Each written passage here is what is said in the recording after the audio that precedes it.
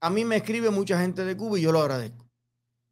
Me escriben de todas partes de Cuba, incluso yo a veces a modo de eh, a modo de reconocer y de saludar y de interactuar con la gente que me sigue de Cuba, yo publico incluso algunos de los mensajes, algunos de los saludos que me envían desde diferentes partes. Mira, me saludaron de aquí, me saludaron de allá. Además, para que el cubano vaya perdiendo el miedo. Yo le quito el nombre y todo ahí, pero bueno, para que el cubano vaya perdiendo el miedo a decir, sí, yo sigo a Eliezer Ávila, sí, yo sigo a, Otaola, sí, yo sigo a los influencers y me gusta y me parece que es verdad y me parece que es bueno lo que hacen. Pero eh, a veces me envían mensajes de fábricas, de lugares, de instituciones. Eliezer, no nos han pagado este mes. Eliezer, qué malas condiciones hay aquí en el hospital para trabajar. Yo soy médico, yo soy enfermero. Denuncia eso, tíralo para el mundo entero. Eliezer, no ha llegado la leche de los niños a Bolondrón. Eliezer, no ha llegado el arroz aquí a las tunas. Y Eliezer, y Eliezer, y Eliezer. Y hay una cosa. Yo le agradezco que usted me mantenga al tanto. Me gusta saber lo que pasa en Cuba. Pero el que no te ha mandado el arroz, el que no te ha mandado la leche, el que no ha mandado el pago de los trabajadores, es el Partido Comunista de Cuba. Y a lo mejor el partido no ha recibido ni un mensaje. A lo mejor Canel y Raúl ni se han enterado porque los trabajadores no se manifiestan. Manifestarse es, es reclamarle a los que deben cumplir con algo que lo, que lo hagan. Y no hay ningún delito en eso. Ni hay ninguna maldad. Ni hay ningún problema en usted si algo le afecta y algo es injusto y algo no está bien, que usted lo denuncie y se manifieste. Entonces, bueno, antier me llega este primer mensaje. Me escribe un trabajador del sistema bancario, creo que es de Holguín. Dice, te escribo para decirte que algunas empresas de Holguín, Cuba, como Farmox de Holguín y Comercio, aún no han podido cobrar sus salarios porque el banco de Holguín no tiene dinero para pagar a los trabajadores. Averigua y verás que es verdad. Te comento esto por si te interesa publicar. Porque también está el aquello como que uno gana dinero, lo que sea, por publicar que en Holguín no le han, eh, no directamente. a mí la gente me ve, yo puedo poner la noticia aquí, la gente se entera, pero no es que yo por publicar una cosa que pasa en Cuba, yo recibo un cheque de dinero.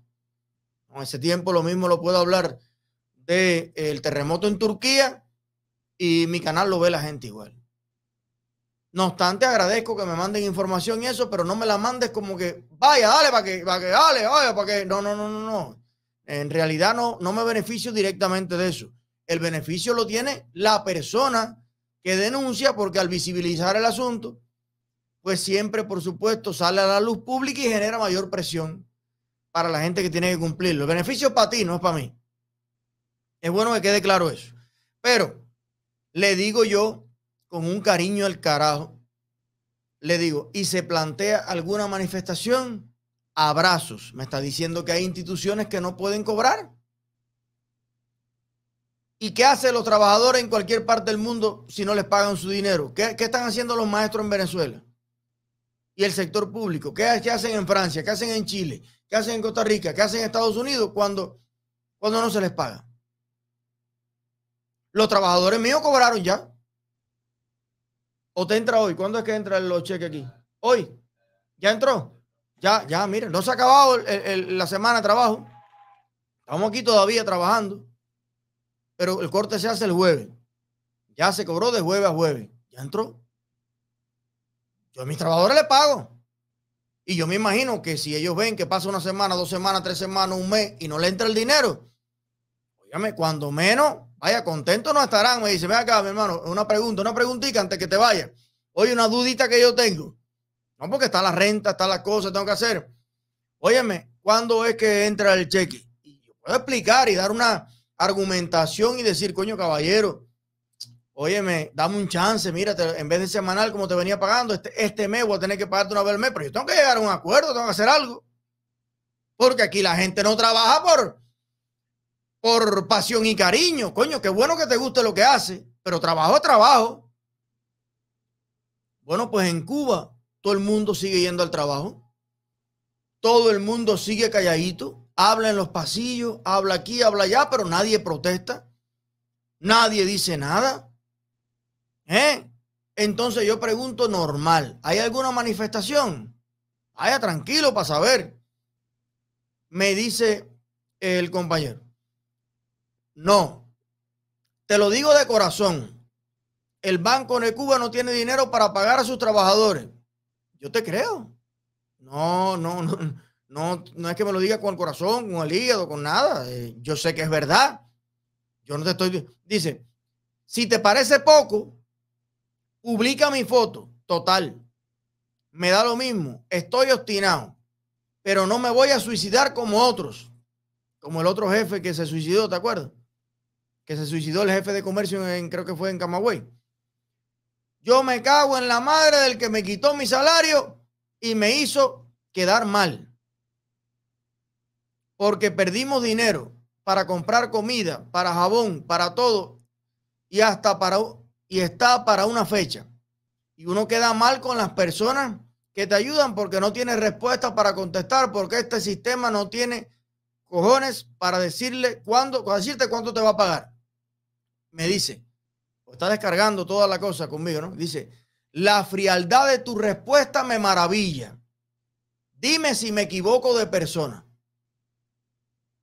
Toda mi respuesta es, ¿y hay alguna manifestación? Si me estás dando una información, yo como periodista independiente tengo que averiguar. Ya me estás diciendo que en todas esas empresas le deben el salario. Me estás confesando que tú pediste dinero prestado para vivir y ahora estás quedando mal. Y tus acreedores te están diciendo, papi, lo que te presté, el pernil de puerco te llevaste, oye, tal, y tu trabajo no te paga. Lo normal es que yo te pregunte, ¿y, van a hacer algo? ¿Hay alguna protesta? Y me dice que la frialdad de mi respuesta, ah, el tipo se decepciona. Pero ¿y qué tú quieres? ¿Que yo me ponga a llorar contigo a las 2 de la mañana? Si yo no le debo nada a nadie. Coño, mi hermano. Coño, qué mal, qué mal que los comunistas eh, te hayan hecho eso. Yo me parece terrible. Eh, qué mal. Óyeme, qué mala debes estar pasando. Llora en mi hombro, coño.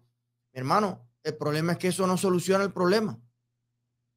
Que tú te cagues en la madre de los que no te han pagado, que son los comunistas, en un chat interno con un vecino de Homestead, Florida, que soy yo.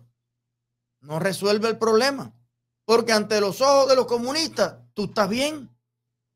Tú estás normal. No pasa nada. Ah, fíjate tú que yo estoy enredado en el asunto y yo no te he dejado ni pagar ni de pagar ni de nada y tú te ya estás bravo conmigo y probablemente ni el primer secretario de la provincia haya recibido el mensaje tuyo. Que es la próxima pregunta que te iba a decir, porque todos los primeros secretarios del partido tienen Facebook, todos tienen Twitter, todos tienen Instagram. Usted le mandó el mismo mensaje. Yo me cago en la madre que no ha pagado. A los que no te han pagado. Era la otra pregunta que yo iba a hacer. Usted lo, escribió para el Granmo, usted lo escribió para el trabajadores, usted, le usted reunió a los demás trabajadores y dijo, caballero, si no hay dinero no trabajamos. Vamos a ir al partido, vamos a hacer. No te lo llegué a preguntar porque, coño, me cortaste así tan filosamente, pero estoy segura de cuál era la respuesta. La respuesta es que no. Entonces, en eso tenemos que, que de verdad entender cómo funciona la vida, cómo funcionan las cosas, cómo funcionan los países. Señor, el que, el que tiene la responsabilidad de pagarte es tu empleador. Y me parece bien que además de quejarte con tu empleador y organizarse los trabajadores para reclamar sus derechos, óyeme, lo que yo quiero que tú me mandes, Eliezer, hace falta que nos ayude con la cobertura mediática de la manifestación del sábado. Ahí nos empezamos a entender estelar, en el mismo idioma. A ver, da, pásame todos los detalles. Mira, Eliezer, la manifestación la va a hacer los trabajadores de Fornox, del banco y de comercio. Estamos convocados. Fíjate que utilizamos el mismo sindicato que ellos tienen. Como tienen una lista de WhatsApp y tienen un correo, le dimos reply to all, a todo el mundo. Y nos convocamos. Hace falta que lo saques por todos lados Vamos a estar frente al partido. Vamos a estar con todo el... Óyeme.